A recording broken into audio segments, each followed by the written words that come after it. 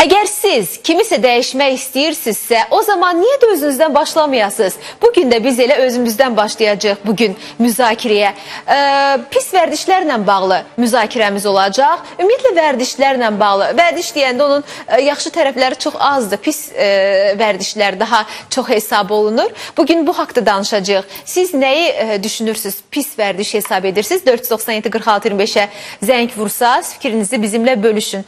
E, bu gün əslində açıqlayacağıq e, necə uzaq durmaq olar, necə pis vərdişlərdən qaçmaq olar. Bu gün bu haqqda e, daha çox maarifləndirmə işləri aparacağıq. Təbii ki, mütəxəssislərimizlə birlikdə e, mən də əminəm ki, bu gün e, ço öyrənəcəyim çox şeyi bu gün bax bu verilişdə götürəcəm. Eyni zamanda siz də yaxın əyləşsəz, düşünürəm ki, siz də yaxınlarınızdan, doğmalarınızdan e, kiməsə nə isə söyləyə bilərsiniz, öyrədə bilərsiniz. Çünki mütəxəssislərimizin fikrindən qaynaqlana bilərsiniz. E, sırada anonsumuz var, daha sonra buradayıq. Firuzə İbadova onun itkisi ilə hələ də barışa bilmir. Cavan idi. 46 yaşında dünyasını dəyişdi. Hansı pis vərdiş onun doğmasını əlindən aldı? Bir insan özünə o qədər dəstəkləyir ki, ürəyi belə sağlam ol ola ola artıq orqanlar hamısı çıxır. Birazdan düzünü desək də Bax belə e, anonsumuzu izlədiniz və birazdan daha geniş şəkildə şahid olacaqsınız, özünüz dinləyəcəksiniz. E, və söyləyim ki, hər zaman olduğu kimi bu gün də düzünü desək verilişinə La Farellanın sponsorluğu Şınşıla Xəzdəri qalereyasının e, təşkilatı dəstəyi ilə baxırsınız. Bu gün də qonaqlarımız var. E, bu gün də danışan insanlar var. E, baxaq görək onlar bu gün nə fikirlər söyləyəcəklər. Odur ki, ilk olaraq istəyərdim ki, e, məndən sağ tərəfdə əyləşən e, İlahə Fədaya Laçını dəvət edi, e, sizə təqdim edim. Nədənsə sizə həmişə İlahə Fəda deyirəm. Bax bu ana qədər də həmişə deyirəm e, İlahə Fəda, uşaqlar ilə Fədaya Laçın. Hə, çox vaxt elə olur. Səhv salırlar bizim Əsas odur ki, bacınızdır və e, bu bacılar həqiqətən də bir-birlərinə çox bağlıdırlar. Mən şahidi olmuşam. Digər qonağımızı təqdim edirəm. Düz 35 il siqaret çəkdi və birdən-birə siqaretlə vidalaşdı. Fərzal e, Fərza bəy Abbas Əlioğlu Xoş gördük sizi də. Şairdir. Birazdan e, o da öz fikirlərini söyləyəcək ki, necə oldu ki, birdən-birə bax bu cəsarətli addımı atdı. E, Elmir Əkbəri hamı tanıyır. Artıq e, hər zaman mənim verilişimin qonağıdır Elmir Əkbər. E, çox peşəkar psixoterapevt Elmir əslində söyləyəcək ki, necə uzaqlaşmaq olar, necə uzaq durmaq olar bu e, vərdişlərdən. Hər kəsin iradəsi çatmır axı birdən-birə imtina eləsin. Yəni e, iradəsiz insanlar da az deyil, iradəsi zəif olan insanlar. E, Firudin müəllim sizi də xoş gördük. E, Firudin Şahbuzlu publisist. Birazdan bir qonağım gələcək. Bilmirəm hazırdırmı? o sözlərə hər zaman gecikir. Bu insanın xəstəliyi var, gecikmə xəstəliyi. Dəyərli dostlar, bilmirəm ki, əslində insan bir var ki, gecikmə xəstəliyi. mənim ən nifrət elədiyim vərdişdir. Niyə deyim sizə? Veriliş əgər canlı yayımdırsa, ora gecikmək olmaz. Qətiyyən olmaz. Bu sayğısızlıq hesab olunur. Ümumiyyətlə canlı yayım yox. Heç yerə gecikmək olmaz. Birazdan, yerə birazdan bəli, birazdan eşidəcəksiniz ki, e, birazdan onun kim olduğunu görəcəksiniz. Verilişə zəng vurdum dəvət edəndə. Dedi ki, mənim bir pis vərdişim var dedi. Mən verilişə həmişə gecikirəm. Yəni mənim bu vərdişim biz qonaqları xəbərdar eləyirik ki, bax bu mövzu olacaq deyə. Dedi ki, mənim çox pis vərdişim var dedi. Mən e, gecikirəm həmişə verilişlərə, amma bilmirəm nə edeyim. Dedim, ha, o zaman gəl, bunun da çarəsi var. Yetər ki, insan istəsin. Bu gün dedim ki, o mütləq tez gələcək. Baxdım ki, bu gün də gecikir. Mən başa düşmürəm bu insanı. Gəlin ilk olaraq sujetimizi izləyək, ümumi sujetimizi. Daha sonra buradayıq. Vərdiş nədir? Elmi tarifi insanın fərdi qazandığı davranış formasıdır. Vərdişlər instinktiv davranış forması əsasında təzahür edir. Vərdişlər psixologiyada daha çox heyvanlara xas xüsusiyyət olsa da, bu şüurlu davranışa malik olan insanlarda da öz əksini tapır. Çox vaxt fərqinə belə varmırıq. Hansı vərdişlərimizin sağlamlığımıza, orqanizmimizə ziyanlı olduğunun fərqinə belə varmırıq. Bu vərdişləri yenidən tərbiyə ilə aradan qaldırmaq mümkündür. Lakin xarakterimizin bir hissəsinə çevrildikdə isə bu artıq çətinləşir. Bəzən vərdişlərimiz bizim əlamətlərimizə də çevrilə bilər. Məsələn, kimsə haqqında danışanda gözlərini tez-tez qırpır. Oturanda stolu əli ilə taqqıldadır və sayır. Bəs vərdişləri, daha doğrusu pis vərdişləri necə aradan qaldırmaq olar? Bu sualın bir cavabı var. O da bir pis vərdişi başqa bir yaxşı vərdişlə əvəz etməkdir. Bildiyimiz kimi vərdişlər uşaqlarda daha çox müşahidə olunur. Vaxtında zərərli vərdişlərin qarşısını almayanda isə nəticə arzu olunmaz olur. Gündəlik qarşılaşdığımız və artıq normal belə qəbul etdiyimiz siqaret çəkmək, spirtli içki qəbul etmək və sair kimi zərərli vərdişlərsə bəzən insan həyatının sonu olur. Bax belə ümumi bir sujetimizi izlədik. Yəni biz bir neçəsini vurğuladıq, amma e, vərdişlər e, saydıqca, sadaladıqca bitməz. E, Fərdi insanlarda hərəsində bir cürdür, düzdürmü? Amma ilk olaraq hər kəsə bir sual vermək istəyirəm. Hamı könüllü şəkildə etiraf eləsin pis vərdişlərini. Kimin nə pis vərdişi var? Pis vərdiş elə hamıda var, bəli düz dediyiniz kimi. Mənim özümün var. Mən, mən siqaret çəkirəm, Aha. ancaq uzaqlaşa bilmirəm. Özü Uzaqlaşa bilirəm ki, bu böyük bir bəladır mənim üçün. Neçə ildir istifadə edirsiniz? Hardasa e, 27 il. Çox vaxt, Deməli, çox. Günay xanım, mən 27 il çəkir, özü bilirəm ki, bu mənə nə qədər ziyandır. Yəni 27 ildir mən bunu istifadə edirəm. Deməli, siqaret e, gündə bir baska siqaret çəkən adamın bir ayda yəni onun bədəninə e, 30 qrama yaxın e, qatran yığışır. Bəli. 27 ildə bu eləyir hardasa 10 kilodan çox. Deməli mənim çəkimin elə 10 kilodan çoxu da odur. Amma siz çox belə qətiyyətli, iradəli insansınız. Siz həmişə mənə o təsiri bağışlamısınız. Bir siqaret nədir ki, onun öhdəsindən gələ bilmirsiniz 27 ildir? Bilirsiniz, e, öhdəsindən gəlmək olar. Biraz ona çox dərin, böyük bir e, Önəm versəz. önəm versəm, bir də ki bu yazar adamlarda nəsə alınmır, e, baxırsan, saç yolmaq olur, siqaret çəkmək olur, nə bilim axı, boş-boşuna gəzmək olur, gəzişmək olur. Xoşbaxtlığın qafiyəsini axtarırsınız elə. Bəli, bəli. Aydındır. Çox sağ olun. Birazdan e, danışacağıq. Mən istərdim ki, e, siz davam edəsiniz. Ümumiyyətlə mən belə e, düşünürəm ki, bir şeyi insan özü istəsin gərək. Bəli. Bu pis vərdişdən hansı pis vərdiş olur olsun, istəyər bəlalı bir pis vərdiş olsun, istəyər belə yüngülvari, dırnaq yemək kimi məsəl üçün. İnsan özü istəsə, özünü e, tərbiyələndirə bilər, özünü, yəni kənardan deməklə deyil, insanın özü özündə o pis vərdişi e, görməlidir. İlk öncə beyin Bilməli. qərar verməlidir. Bəli, Beyin e, mən belə düşünürəm ki, yəni siz də, yəni istəsəniz biraz da möhkəm biraz da dərindən fikirləşsəniz. Yox, mən deyirəm. Hər şey yaxşı. Tərişmək olar. Tərişmək olar. Yəni üstünə düşsəm, bəli. Amma insan var ki, Önəm versəm, Günay xanım dediyi kimi. Tərişmək Əlbəttə. olar. Amma insan var ki, məsəl üçün mən insan tanıyıram ki, pis vərdişi var. Deyir ki, yox, mümkün deyil. Mən ata bilmərəm məsəl üçün siqareti. Mümkün deyil, qeyri-mümkün. Mənə elə söz deməyin. Özü artıq özünə inanmır. Bu, hə? Psixoloq yaxşı bilər. Mən belə düşünürəm ki, bu inamsızlıq deməkdir. Özünə inanmırsan, iradəvə inanmırsan. Yoxmu? sizdə varmı pis vərdiş? Hər hansı pis vərdiş var. Məsəl üçün, məsəl üçün mənim oğlumda valla o gündən şey, bu mövzunu demisiniz, fikirləşdirirəm. Məsəl üçün saqqız çeynəmək kimi pis vərdiş, məsəl üçün o da pis vərdişdir də, salır ağzına şap başarab şeyin. Bu ağızdan dad e, gəlsin deyə balaca bir iki dəfə dişləyib atmaq olar onu çeynəyib atmaq.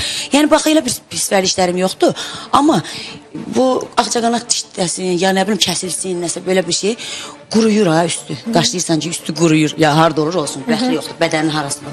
Məndə belə pis, pis vərdiş var. Kimdə də görsəm o yaranı, istəyirəm ki, onun üstünü qopardım. Qurumuş yara var ha. Var elə insanlar, Aa, hə. Xoşum gəlir onu qopartmaqdan, uşaqlıqdan. Hətta mənim bacımın uşaqları var balaca. Mənə görəndə yıxılırlar, dizləri yaralır deyir. Fəday xala bax sənə yara saxlamışam. Qurusun qopardarsın.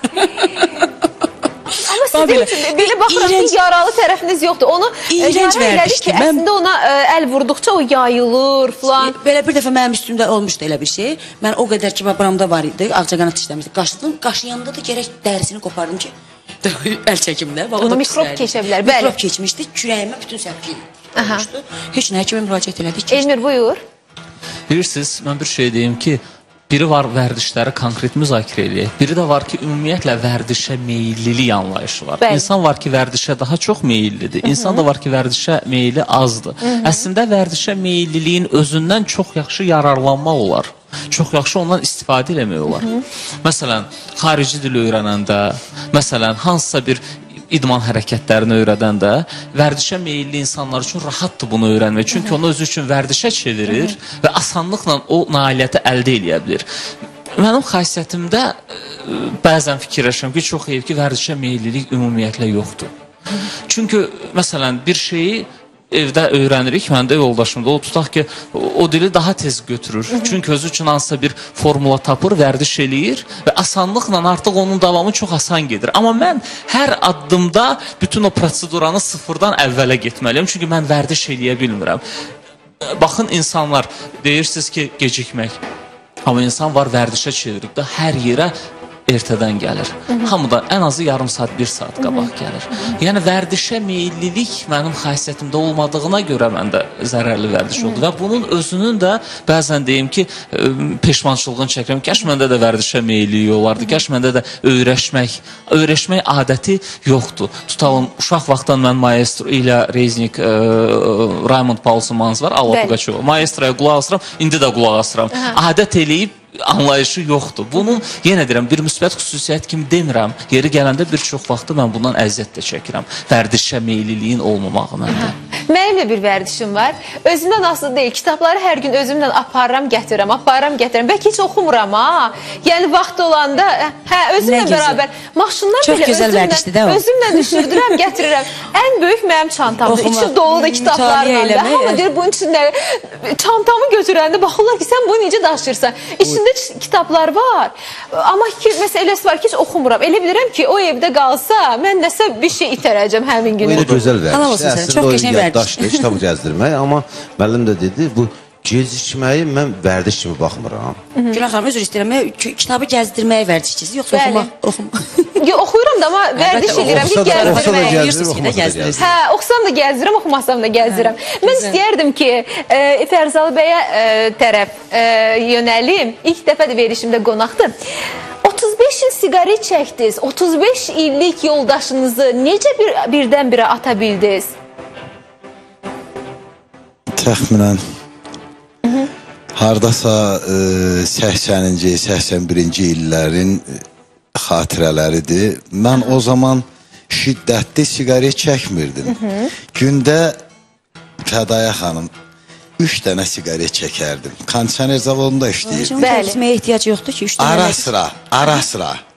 Çıxırdım, özdə yanımda kimsə olmamalı idi. Mən siqaret çəkəndə gərək tək olaydım, yalnız özüm. Həm də sonsuz bir ləzzət alırdım o andan. Məsələn, tək olanda necə tək olanda? O bəyəm kimsə olanda nə olurdu ki? O, mane olur. Tək olanda istəyirmiş əslində mən ləzzət tək olmurdum. Mən kimlərlə olurdum. O ləzzət edirdi. Bir e, xeyli müddət bu belə davam elədi. Hətta elə yoldaşlar, dostlarım elə vərdiş eləmişdi. Görəndə ki, mən siqaret çəkirəm, mənə yaxın gəlmirdilər artıq. Bilirdilər ki, sevmirəm. Belə-belə bir dəfə istədim, beş dəfə yox, sonra dedim, yox canım, bu düzgün deyil. Demək, lazımsa bunu elə özüm cibimə qoyum da. Onda tələbət yox idi. Cibimə qoydum, uşaqlara payladım, istəyənlərə verdim filan. Onda ayıldım ki, artıq gecdir. Mən vərdiş eləmişəm. Artıq e, ardıcıl siqaret çəkirəm, keçdi yarım paçka keçdi paçkaya, paçka üstələdi keçdi iki paçkaya, paçka yarıma. Belə-belə bu oldu məndən Həyat yoldaş. yoldaşı. Hətta bir dəfə bir epizodu nağıl eləyim, sağ olasınız. Şair kimi təqdim elədiniz. İndi eşidən e, televiziya tamaşaçılarından da demək olar ki 90% bilirlər ki doğrudan da şairəm. Hətta bir dəfə bir tədbirə gedirdik. Şairə dostum var idi, dostumuz, bir bacımız var idi. Dedi ki, Fərzal müəllim, gəlsən bu siqaret tərgidəsən, yazın gəlmir canına. Biz demək tədbir təşkil olunana qədər mən yavaşca o e, şeiri yazdırıb keçirdim bunun stoluna tərəf. Baxdı dedi qardaş sən dəhşətmişsən, sağ söz deməli deyilmiş. Onda yazmışdım gör nə qədər siqaretin meylliliyim onu bir əncədə bədiləşdirmişdim hələ. Siqareti vəsf eləmiş şeirlərini. Deyirsən papiros çəkməyim, gülüm, papiros düşkünü olmamışam mən. Dəli hisslərimi öldürüm deyə zəhərli tütün öpürəm hərdən. Burula burula qalxan ot üstü ömür yollarımın izi idi, qaldı. Tütünə bükülmüş bu ağ kağız da odunu qəlbimin közündən aldı. Baxıb vüqarımın bu görkəminə, deyirsən poladam, daşam, dəmirəm. Ötən günlərimi xatırladıqca vallah papiros tək tüstülənirəm. Ana təbiətə elə vurğunam. Deyirəm itəydim dumanda, kəndə, papiros yandırmaq düşür yadıma, dağları papiros çəkən görəndə. Aydındır. Bax necə oldu ki, iradənizi topladınız? E, yəni qəti şəkildə fikirləşdiniz ki, mən artıq siqareti bitirməliyəm. Yəni o məni bitirməmiş, mən onu bitirməliyəm. Çox sağ olun, gözəl suallardır. Həm də maraqlı suallardır. Çünki bunu yaşamışam deyə Hə. həmin o vaxtlarda, o dediyim çağlarda bir xatirə də yadıma düşdü. O zaman mən bir istəyən bir dostum var idi. Hər səhər gələndə mütləq məndən öpüşməli idi. Hədaya xanım, iki addım yaxınlaşanda artıq üzr istəyirəm. Ağır bir qoxu məni vururdu. Özü də prima çəkirdi, filtrsiz. Ağır bir qoxu vururdu məni və mən dəhşətə gəlirdim.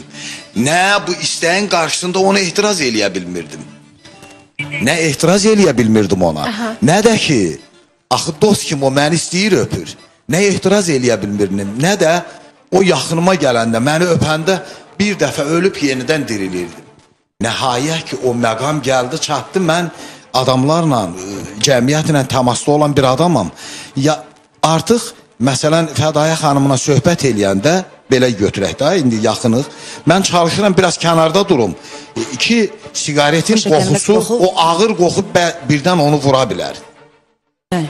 Bax o məqam yadıma düşdü. Ən birinci növbədə mən sağlamlıqdan çox bax o məqama nəzər salıram ki, Ətrafdakıları. cəmiyyətdə, ictimai yerdə o kiməsə mənfi təsir eləmək nə dəhşətdir. Aydındır. Sırada reklamlar var. Daha sonra buradayıq. Bilim ki, bir daha anonsumuzu izləyək. Bugün mövzu nə ilə bağlıdır? Təbii ki, veriliş izlədiyiniz zaman artıq xəbərdarsınız.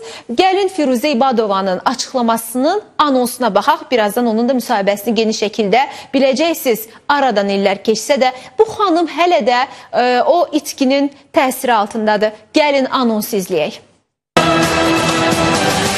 Firuzə İbadova onun itkisi ilə hələ də barışa bilmir. Cavan idi. 46 yaşında dünyasını dəyişdi. Hansı pis vərdiş onun doğmasını əlindən aldı? Bir insan özünə o qədər dəstəkləyir ki, ürəyi belə sağlam ol ola-ola artıq orqanlar hamısı çıxır. Birazdan düzünü desək də Bax belə və söyləyim ki, e, veriş başlayanda anons etdim ki, bir nəfərimiz var gecikib. Sizcə kim olar o insan? Müğənnidir, məşhurdur, kim olar? Kim daha çox həmkarlarınızdan gecikə, gecikir? Çoxları var. Ona görə də mən deyə bilməyəcəm hansı müğənni. Müğənnilərdə xasiyyətdir gecikmək. Niyə? Olur ki, məsəl üçün bax toy başlamalı, məsəl üçün toya da gecikirlər. Toy başlayır saat 7-də, bunlar gəlir saat 8-də məsəl Aha, toyda da var belə elə bir şey. Belə böyükdülər, belə yekə adamlardılar ona görə. Yoxsa ki, belə onun üçün yox ki, ay nə bilim gecik istəyərəkdən gecikənlər var. İstəyərəkdən. Ki mən böyük adamam da mən gec gəlirəm belə. Amma əslində olmamalıdır. Aha. O Elmir, e, nədən irəli gəlir bu? Yəni toya məsələn gecikirlər. Oradan da ki pul alırlar da. Hər halda heç olmasa baxın. onda vaxtında getməlidirlər. Bəli. Necə yəni özünə razı olmaq olar ki, mən gecikmişəm? Də elə şey olarmı? Nədən irəli gəlir? Bu ulduz xəstəliyinin bir əlamətidir. İnsan elə bilir ki, o gecikəndə hamı oturub onu belə şahənşahlıqla qarşılayacaqdır, amma o təbii ki, onların subyektiv fikridir. İndi veriliş əsnasında mən deyərəm, vərdişlər neçə qrupa bölünür.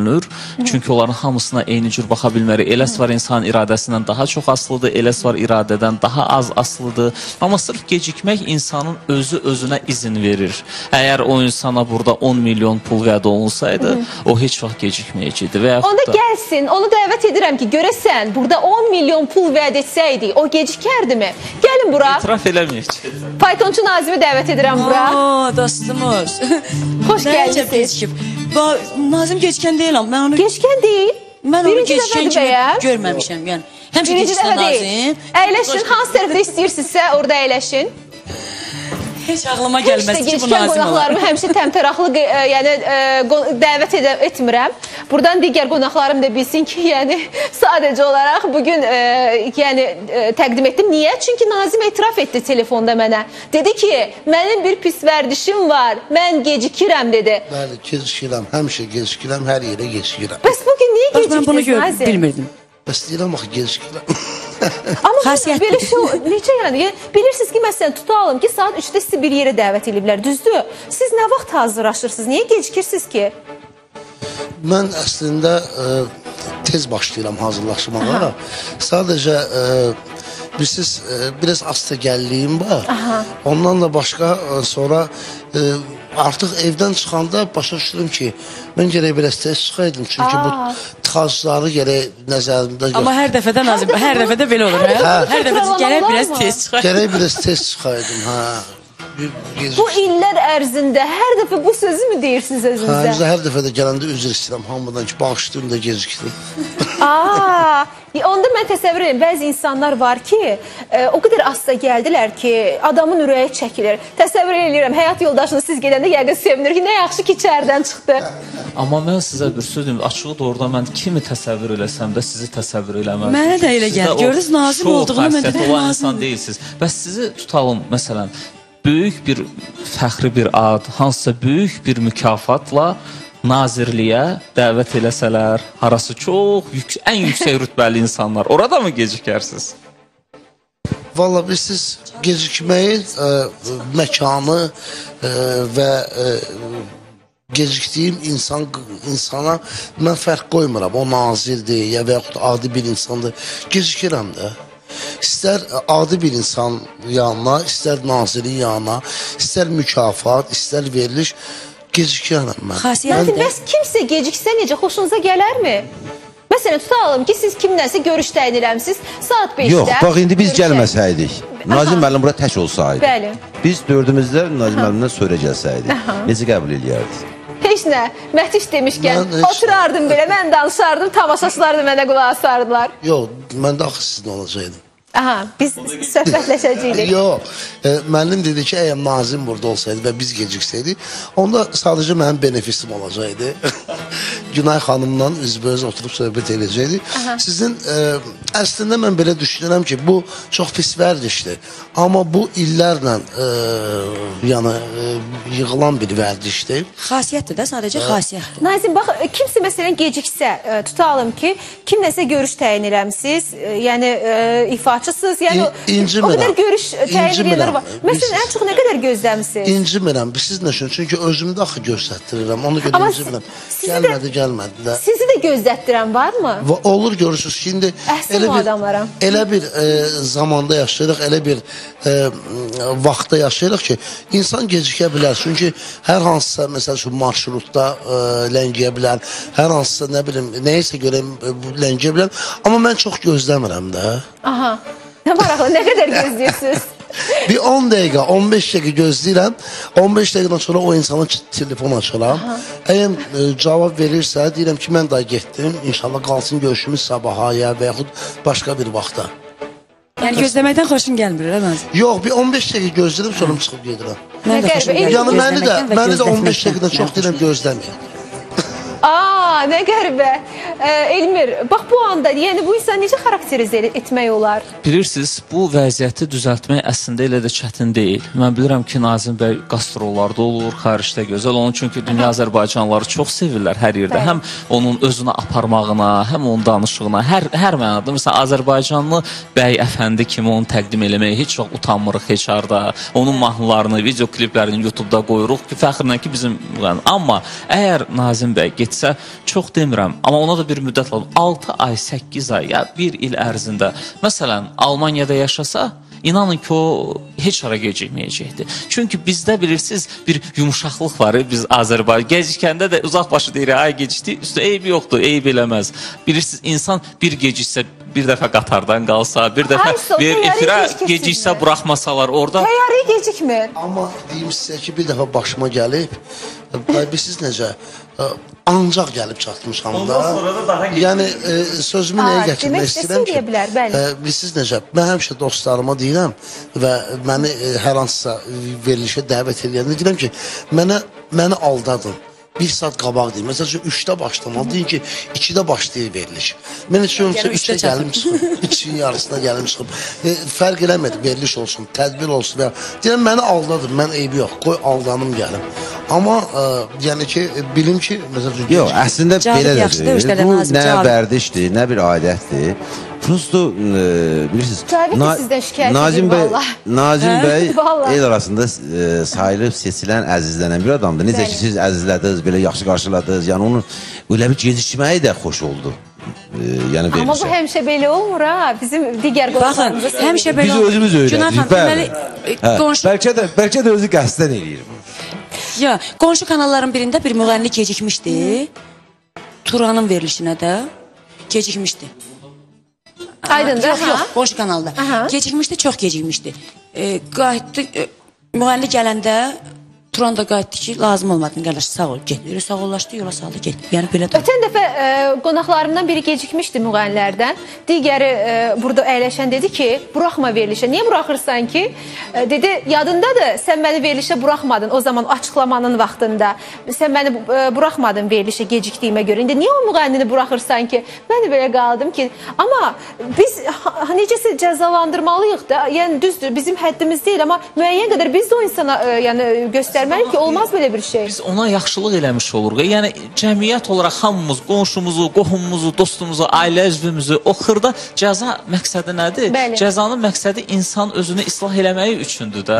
Ona görə də bu əslində yaxşı bir haldır ki, məsələn bir gecikəcək, iki gecikəcək, qatara minə bilməyəcək, gecikəcək harasa orada başqa yerdə bizim kimi deyil. İnsan gecikdisə O artıq itirdi görüşünü Bəli. də, getdiyi işi heç vaxt məsələn başqa Avropalılar bunu məsələn qəbul Normal eləmirlər qəbul qətiyyən. etməzlər. Yəni Bəli, belə bir bəli. şey ola bilərmi deyə. Ona görə də əslində gecikməyi biz sırf zərərli asılılıq kimi qəbul eləyə bilmərik. Çünki bu sırf insan faktoru ilə bağlı olan bir məsələdir. Nazim oturub o e, dərsindən iki alan uşaqlar kimi başını sağ başa biz də düşmüş üstünə Yox, mən damlayırıq. e, etiraf edirəm ki, bu mənim doğrudan da e, çatışmayan bir cəhətimdir. E, çox pis vərdişdir bu. Çünki ən azından e, e, bilirsiniz, e, doğrudan da e, həqiqətən də lazım olan bir məkana, lazım olan bir zamanda mən özümü çatdırmaram və orada böyük bir e, faciə baş verə bilər.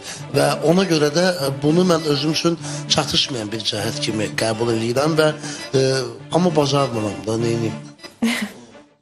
Mən istəyirəm Psixoloqa ki, müraciət. bacararsan. Elmir, necə yəni e, Nazim öz özü ilə mübarizə aparsın? Necə yəni Nazim yalnız tək deyil, digər bizim məşhurlarımız da var, digər vətəndaşlar da var ki, gecikmə xəstəliyini e, yəni e, tutulublar. Belə deyək, e, kobud formada söyləyək. Yəni necə mübarizə aparsınlar özləri özləri ilə, əgər e, özləri xarakterlərinin, gecikmələrini, belə pis vərdişlərin qarşısında acizlərsə? Bilirsiniz, gecikən insanlar bilməlidir ki, həyat onsuz da insanı düzəldir, islah eləyir, gecikməyi ona yadırğadır.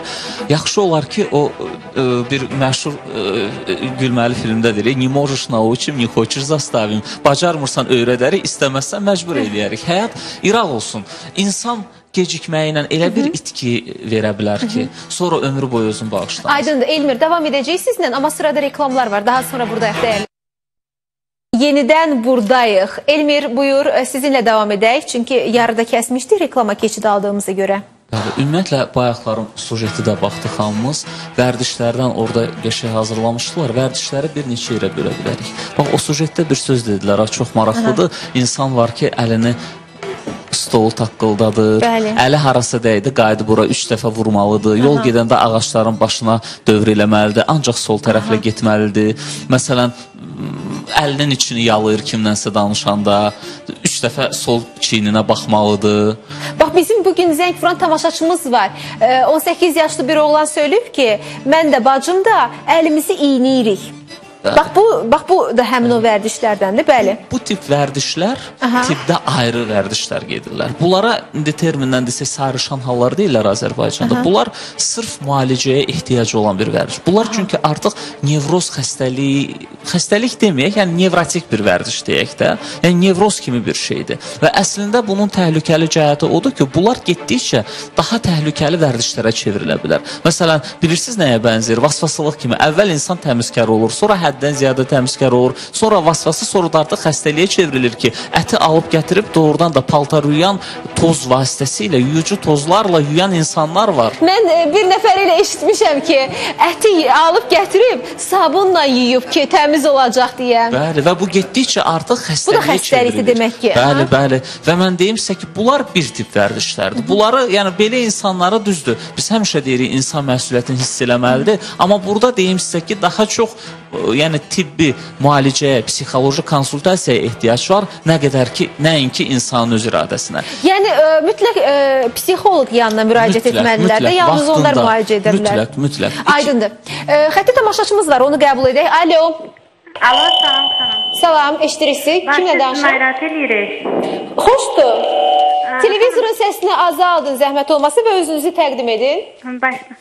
Xanım, elədir ki, mənim yoldaşım bağlı meyilli bir insandır.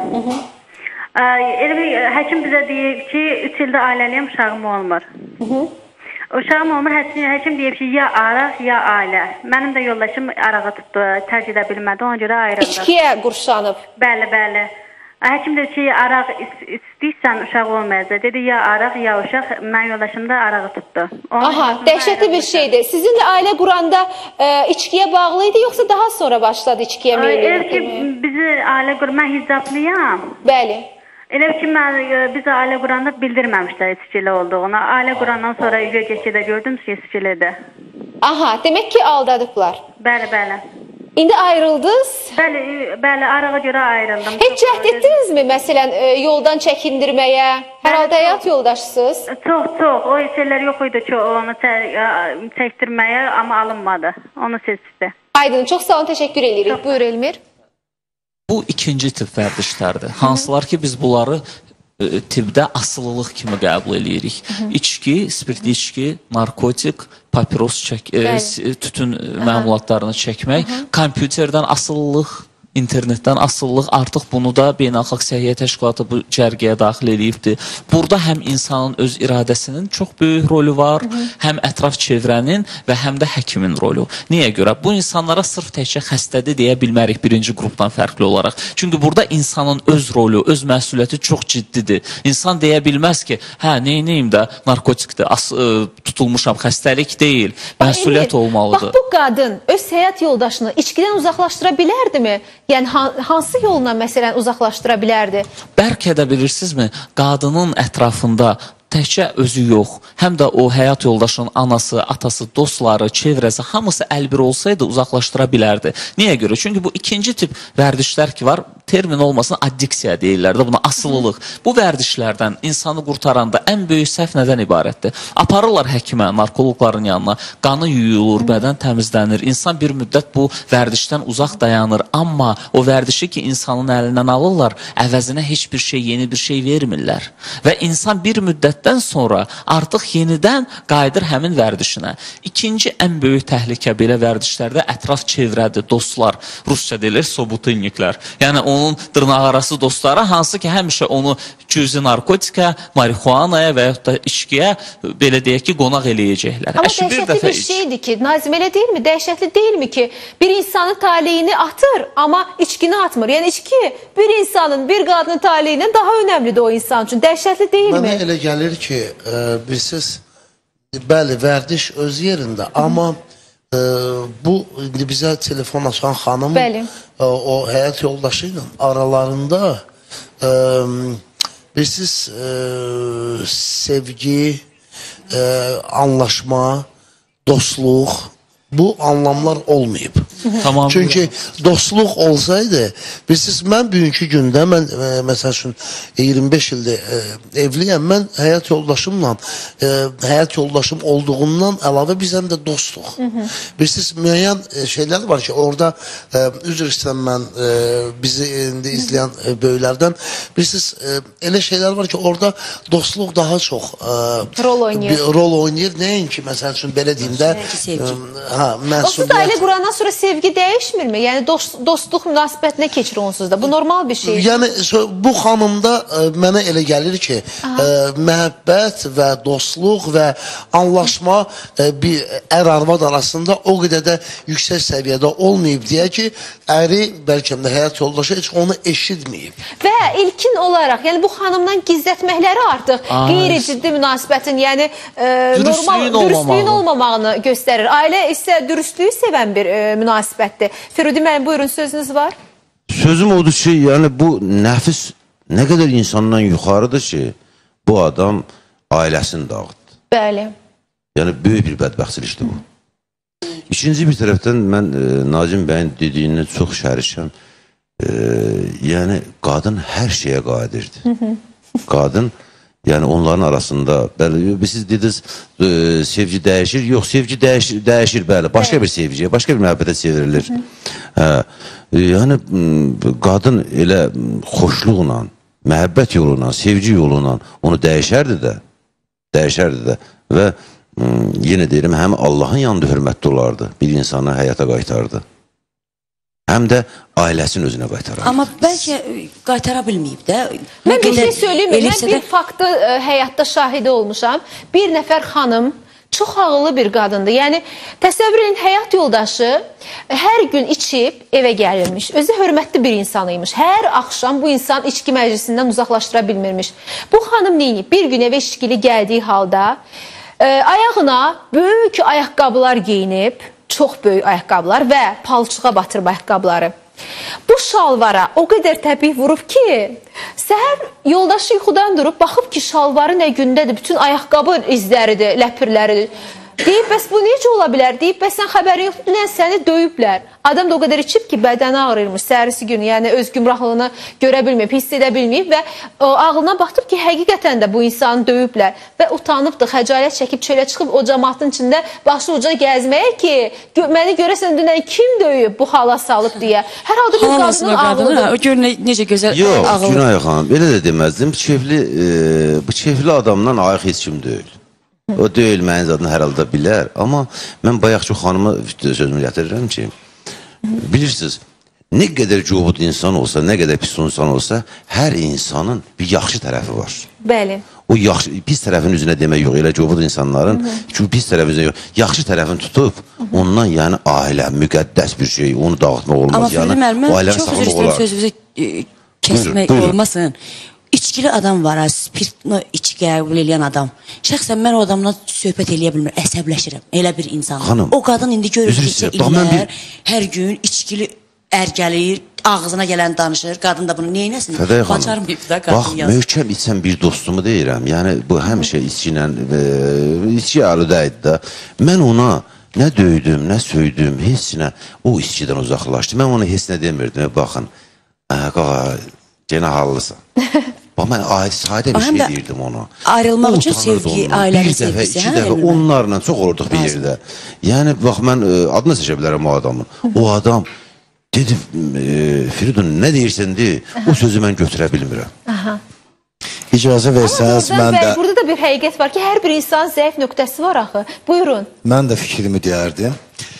Mənə elə gəlir ki, Fəday xanımın e, fikrincə tam razıyam. Doğrudur.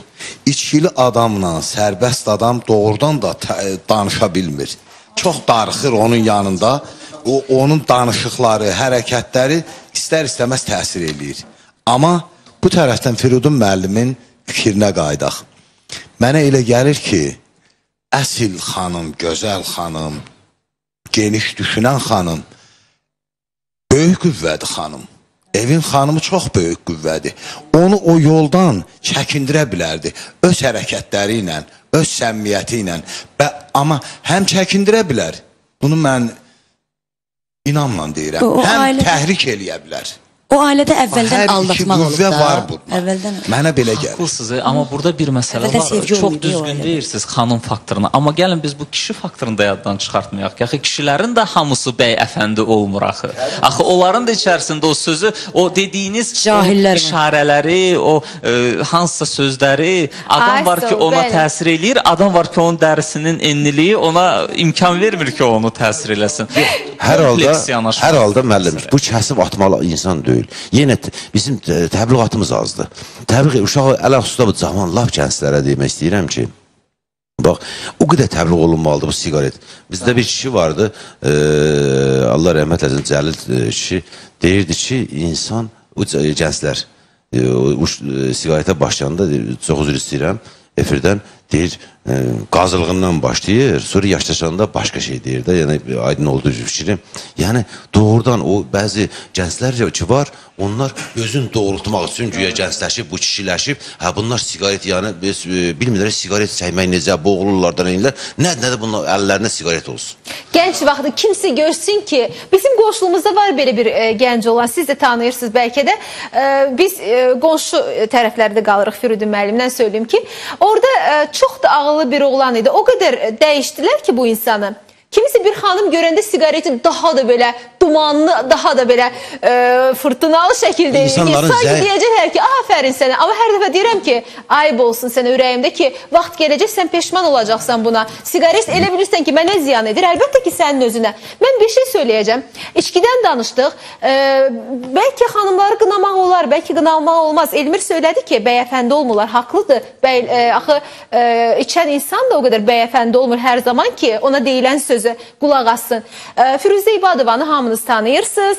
E, onun da həyatında belə bir şey oldu. O kimlə əziyyət çəkdi? İndi ətraflı özü öz dilindən danışacaq. Gəlin diqqətlə ekrana baxaq. Mən Firuzə İbadova, müğənni. Evlilik həyatım 9 il olub. 30 yaşında ailə qurdum. Ee, 85-ci ildə. 1995-ci ildə ayrıldıq.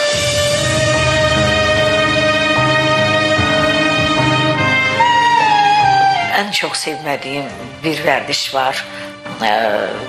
İnsan e, həddindən artıq içəndə. Həmişə də elə deyirdim ki, çox xahiş edirəm. Biraz da olsa heç bir dostla ya toyda, yəni bu həddindən artıq içmək ifrat dərəcəsində hamıya çirkin görünür. Kişilər hamısı bir yerə yığılır. E, ikisi içəndə e, digəri içməli deyirlər.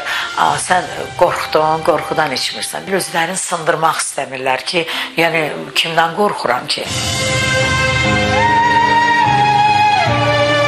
Sağlamlıqda bilirsiniz e, müəyyən ən əsas da qaraciyərdə yaranan bilirsiniz ki, e, 99% içkidən yaranan bir e, şeylərdir. Cavan idi.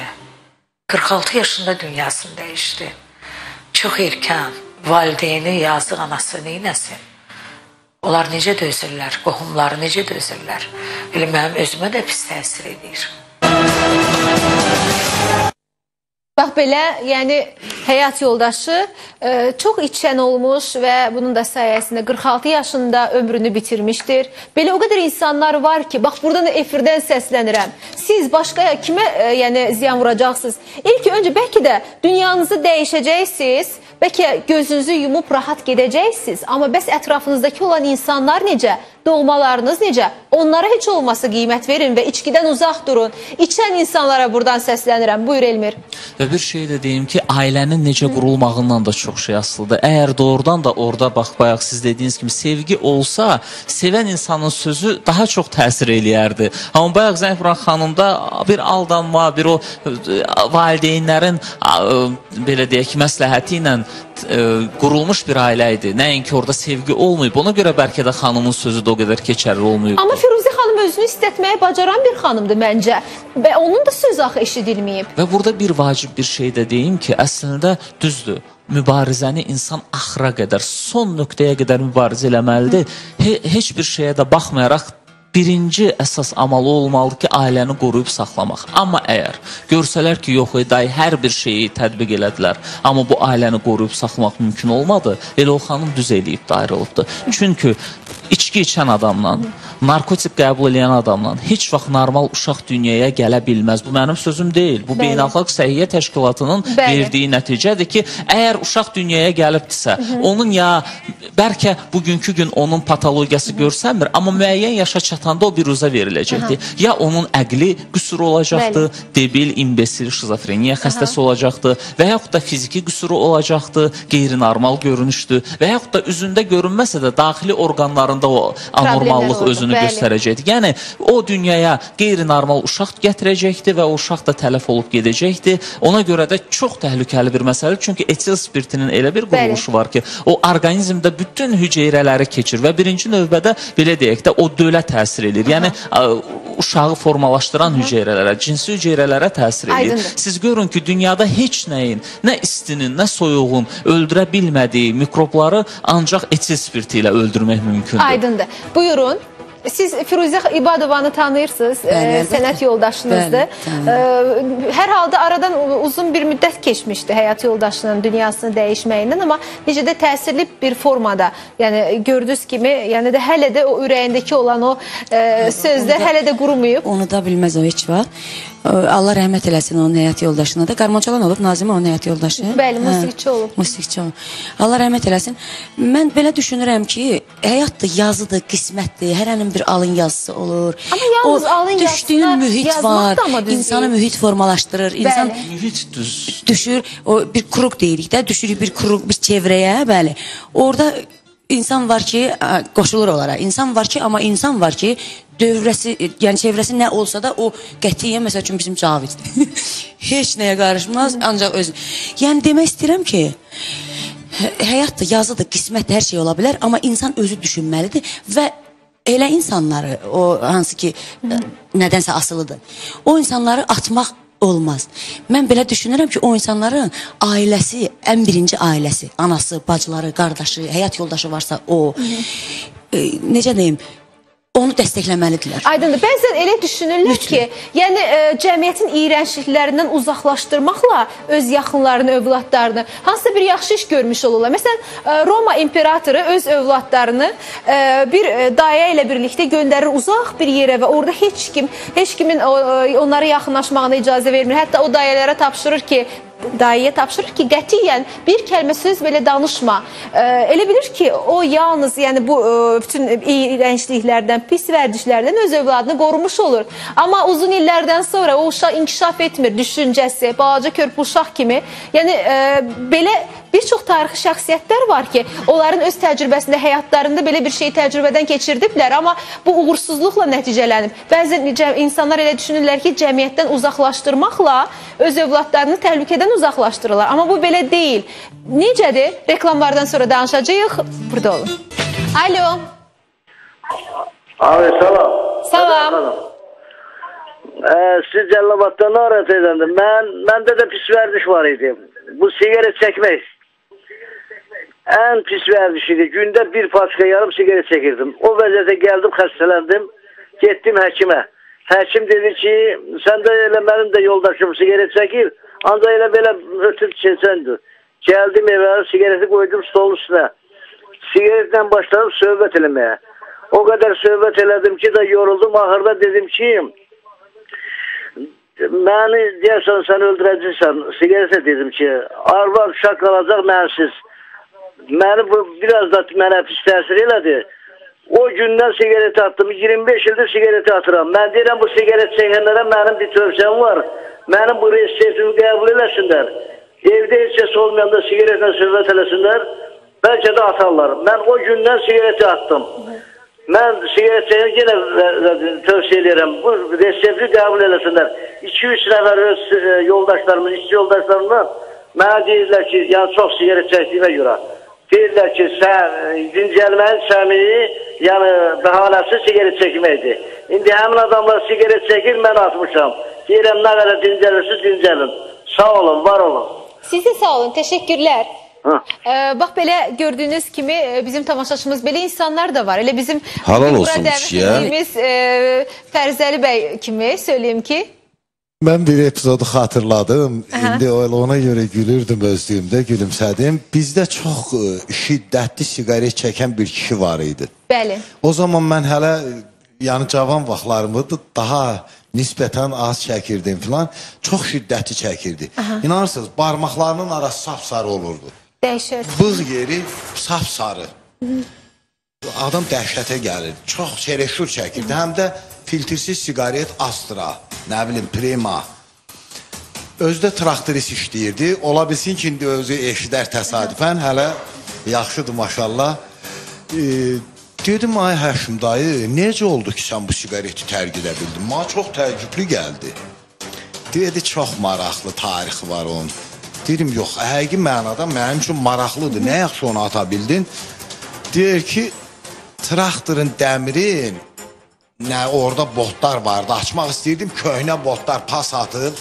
Yay vaxtı o qədər çalışdım, çalışdım deyir. Belə eləyir, təri tökürəm. Bir də aça bilmirəm, pas tutub. Nəhayət ki açıldı. Açılan kimi deyir əlim getdi cibə, siqareti gətdim damağıma qoymaq istəyəndə ağzımdakı siqaret əlimi yandırdı. Ayda. Sən hiss demə elə eləməyib. damağımda siqaret mən işləyirmişəm. Bəs elonla deyir, paçkanı çıxartdım, atdım dedim, valla səni çəkməyəcəm. Yox, iradəli adamlar çoxdur, çoxları e, Maraqlı, məsələn yəni, epizoddur. bizdə də olub. Yezdən bu gün e, deyir ki, bax mən e, siqaret mənim təmizini ayrı atır. Aparın o, aparın at. Özü qoyulaşma dedim başına görürdü onu. Valla o 5 illə, 3 illə siqaret çəkmir. Biraz köçərmə adamdır. Bəli. Hə, biraz görür köçərir. Gətirin görüm bunu bura. Yəni belə belə insanlar var. Mən Yəni, baxın, Bunun xanım, bir e, yəni yaxşı xüsusiyyəti yoxdur. Rəngi qaraldır, insanın için Həm də zədələyir. üzr istəyirəm. Mən bayaq fikrim yarımçı qaldı, onu tamamlamaq istəyirəm. Çox üzr istəyirəm Fədaya xanım. Demək ki, bir xanım dostumuz yaxın vaxtlarda elə də bu siqaret tərk etmə ərəfəsində deyir ki, Fərzal müəllim, nə olardı o siqaret tərk etsəydiniz? Bir daha o e, 80-ci illərdəki e, xatirələr yadıma düşdü ki, dostumdan gələn qoxu. Doğrudan da bayaq e, mən Aa. əbəs yerə gəlmirdim Fədaya xanım. Bəli. Dedim hə, bu cana ziyan olmağından bir tərəfə qoyaq. Bu sağlamlığa ziyan vurmağı bir tərəfə. Maddi tərəfi bir tərəf, amma qarşı tərəfi, ətrafı, dostu, səndən gələcək o xoşa gəlməz qoxu Allah sən saxla. Bax bu dəhşət. Aydındır. Buyurun. İlahi xanım. E, Fədaya xanım. Dəhşət. Nə vaxt öyrənəcəm E, mən? Bizim Aha. e, mərhum sənətkar mərhum sənətkarımız Məhəbbət Kazımovla danışmaq istəyirəm. Allah ona rəhmət eləsin. O da çox siqaret çəkirdi. Onun ə, siqareti tərk etməyi, məsəl üçün danışırdı ki, bax belə olub. Deyir, əlimi atdım bu cibimə, buradan bir siqaret çıxdı, buradan bir siqaret, nə maşında bir, evdə tumbuçkada bir, nə bilim servantda bir dənə. Deyir, hamısını dedim, yığın, gətirin bura. Gətirdilər, qoydular bura. Deyir, dedim ki, məni öldürəsiz siz. Bax elə belə o bayaq e, zəng vuran tamaşaçımız deyir, siqaretlə söhbət elədim. Siz məni öldürəsiz. O bu da tərk edib İmtina etdi. İmtina elədi. Hə, ondan da sonra heç e, ölən günə qədər siqaret çəkmədi. Aha, Allah rəhmət eləsin ona. Mən e, Elmir, e, bax e, istəyərəm ki, e, bu haqqda danışaq ki, verilişimiz getdikcə yekunlaşmağa doğru gedir. Bax e, cəmiyyətin rolu, yəni əslində bir çoxlar e, cəmiyyətdən uzaqlaşdırmaq istəyirlər ki, övladlarını, sanki qorumaq istəyirlər onu. Amma e, bəzən bayaq bir söhbət də getdi ki, əslində çevrə də insanı dəyişir, o vəziyyətə salır. İçki ilə bağlı dedi ki, e, iç iç birində sən iç. Firuzə xanımın müsahibəsində var idi. E, dostları deyir ki, sən biz içsək sən içməsən olmaz. Yəni dostlar da onu məcbur Hətta edir. belə olur ki, deyirlər kişi deyirsən, Bəli. biz içirik, sən kişi deyirsən, sən bizə qoşulmursan. Bax belə də olur. Yəni bir tərəfdən cəmiyyətdən uzaqlaşdırmaq da çətindir, cəmiyyətin qoynuna atmaq da çətindir. Bəs bu insanlar nə etsin?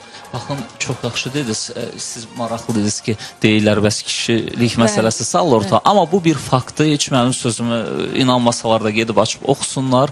İnsanın kişi xeylatlarının, oğlanların potensiyasını birinci növbədə aşağı salan etil spirtidir.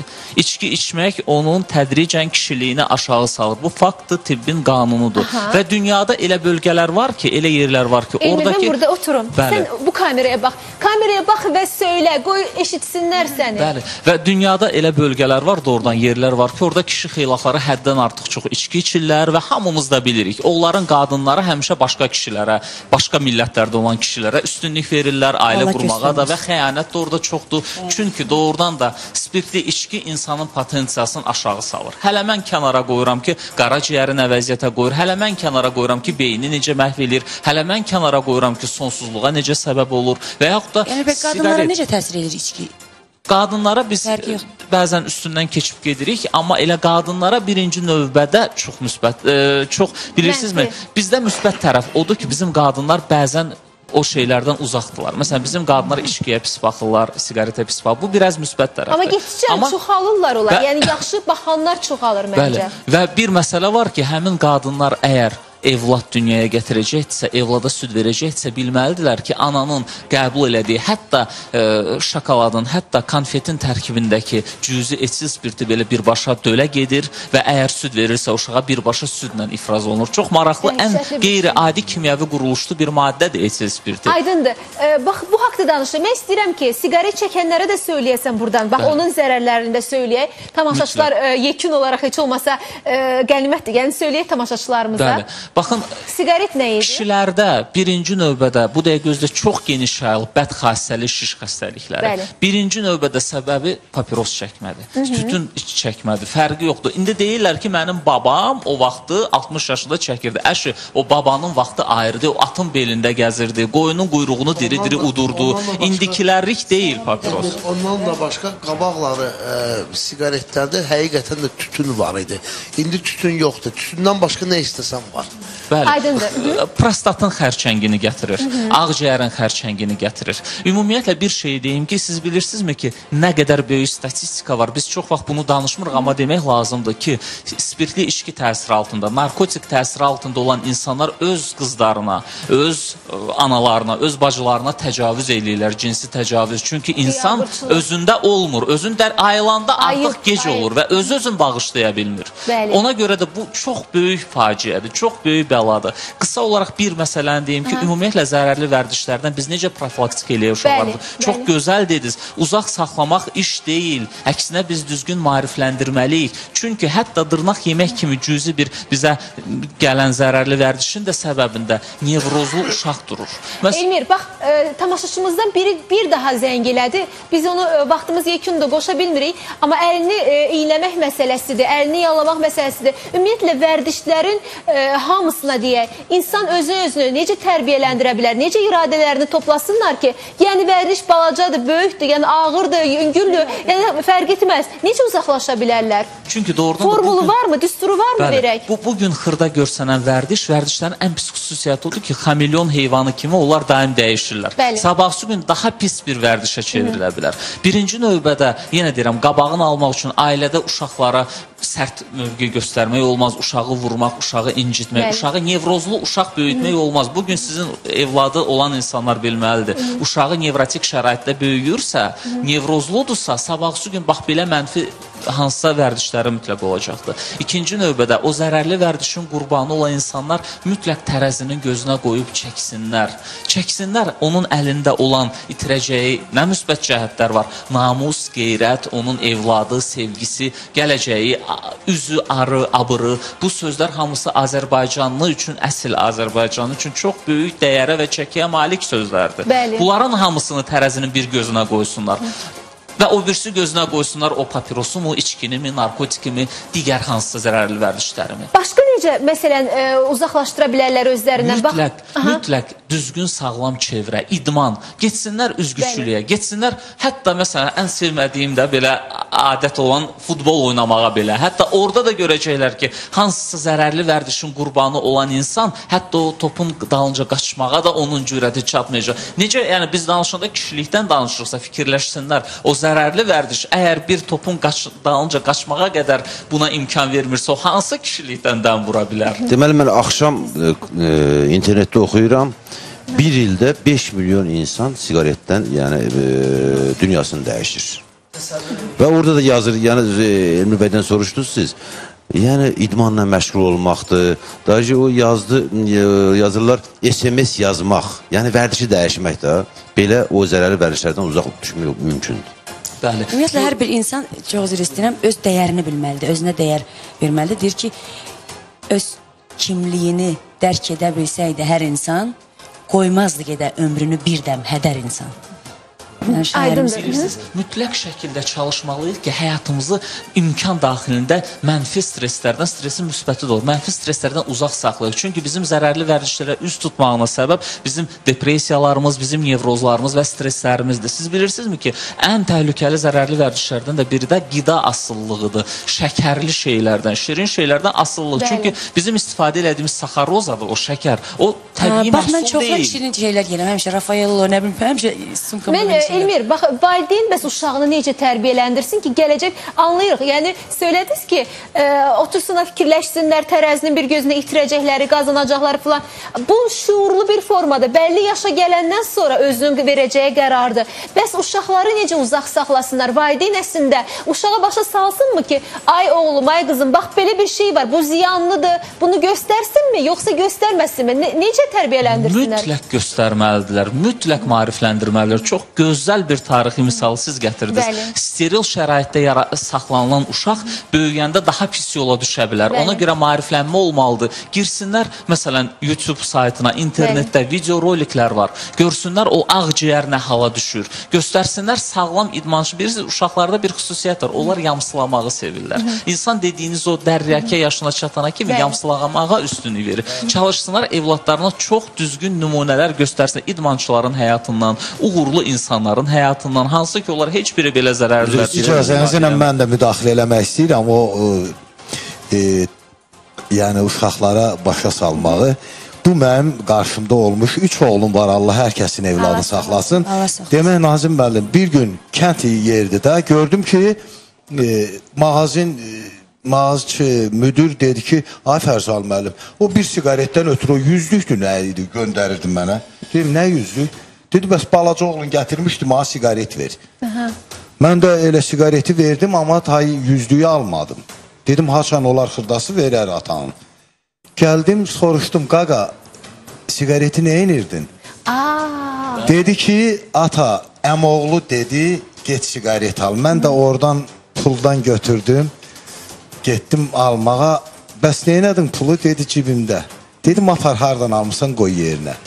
Bax, o xırda pulları rezinə bağlayıb salıb, bəli. bağlayıb atmışdım. Daxırın gözünü çətim, dedim, qaqa. Nə, hə, nə qədər, nə qədər ürəyin istəyir, oradan götür, şirniyyat alın, peçen alın, nə ürəyin istəyir. Amma siqaret istəmir. Mən deyərdim siqaret ki- şəmin. mən Bir deyərdim üzr ki, istəyirəm, bir kəlmə. müəllim. E, Yekunlaşdırın, dev siqaret amma dəhşətdir. Bax, o pulun hamısını sizə verirəm. Amma siqaretə verməyin. O yaxşı şey olsa, hamısını deyərdim ki, gedin siqaret alın, çəkin. Amma burada ata faktoru da var. Ata siqaret çəkirsə övlad görür atası siqaret çəkir elə bir yaxşı şeydir. O da İndi hər gün. Yox, bana əksinə. savun deyirlər, e? Siqaret Gördün çəkən mü? atanın oğlu ələxsus e, çox faizi siqaret çəkmirlər. Bax mən isə bir qısa bir fikir e, deyim. Deməli, çəkdiyin siqaret, yəni övladın istəsən çəkməsin, e, çül qabına vurursan, da üzr istəyirəm. O bax onu uşağın yatdığı o yataq otağına apar bir gecə qalsın orada. O uşaq istər-istəməz siqaretdən iyrənəcək. O çül qabına elə pis gəlir ki, Allah göstərməsin. O uşaq o siqaretdən iyrə- iyrənəcək. Var vaxtımız bitir, veriliş yekunlaşdırır və biz də e, saatın axarına gedib verilişi yekunlaşdırmalıyıq. Mən bugün çalışdım ki, bacardığımız qədər, bacardığımız qədər e, bu pis vərdişlərdən uzaq duraq. E, bacardığımız qədər yox deyək. Bütün insanlara da çalışdıq ki, burada maarifləndirək. Yəqin ki, bildiniz o düsturu hansı ki, uzaq durmaq lazımdır. Onu digər işlərlə, futbol oynamaqla, e, e, Elmirin söylədiyi kimi idmanla və yaxud da ki, digər marağınızda olan işlərlə əvəz edə bilərsiniz, dəyərli dostlar. E, Mən istəyərdim sabahın anonsunu izləyək. Sabah çox maraqlı bir mövzumuz var. Evdə olan xidmətçilərlə bağlı. Gəlin izləyək. Hansı məşhurun həyatı bir xidmətçi üzündən alt üst oldu? Ev xidmətçiləri ilə bağlı bilmədikləriniz sabah düzünü desək də. Bax belə sabah e, izləyəcəksiniz. Mən təşəkkür eləmək istəyirəm hər kəsə. Özəlliklə Elmirə yaxşı yol deyirəm, çünki bugün Avstriyaya yola düşür. Bax belə, e, sabah inşallah qarşınızda olacaq. Sabaha qədər Allah əmanət ol Azərbaycan.